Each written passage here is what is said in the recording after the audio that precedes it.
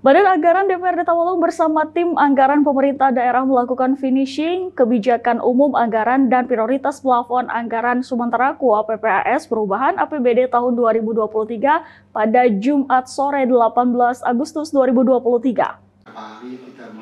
Dalam rapat ini disampaikan bahwa APBD perubahan Tabalong tahun 2023 menjadi 2,6 triliun rupiah Angka ini meningkat sekitar 800 miliar rupiah dari APBD Induk Tabalong tahun 2023 sebesar 1,8 triliun rupiah.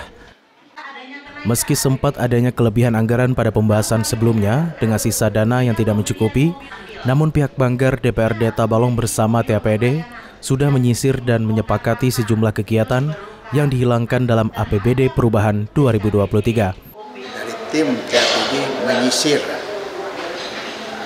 berapa yang sebenarnya bisa mencukupi untuk anggaran perubahan. Tadinya ya 106 ya, akhirnya dapat kita sisir SKPD SKPD eh, yang tidak prioritas untuk tambahan perubahan ini. Akhirnya kita mendapatkan 96 ada 872 ya. Bupati Tabalong Anang Safiani di dalam forum ini menyampaikan agar nota keuangan ini dapat segera disampaikan minimal pada minggu keempat bulan Agustus sehingga pertengahan September sudah selesai dan dilakukan evaluasi.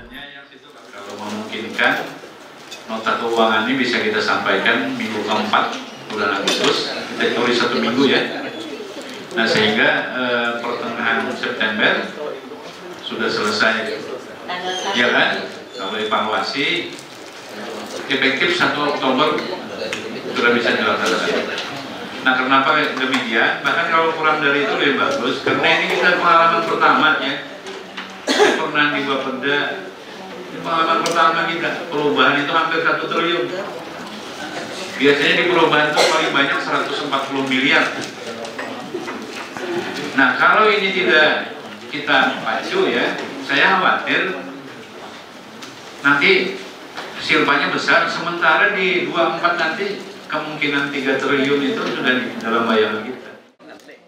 Sekedar diketahui berdasarkan hasil kesepakatan bahwa total APBD perubahan tahun 2023 sebesar 2,6 triliun rupiah dengan proyeksi pendapatan daerah sebesar 2,1 triliun serta total proyeksi belanja sebesar 2,6 triliun. Muhammad Aryadi, TV Tabalong melaporkan. Terima kasih sudah menonton video ini. Jangan lupa subscribe channel Tabalong hari ini dan nyalakan pemberitahuan untuk update info terbaru. Jangan lupa juga untuk like, komen, dan share videonya.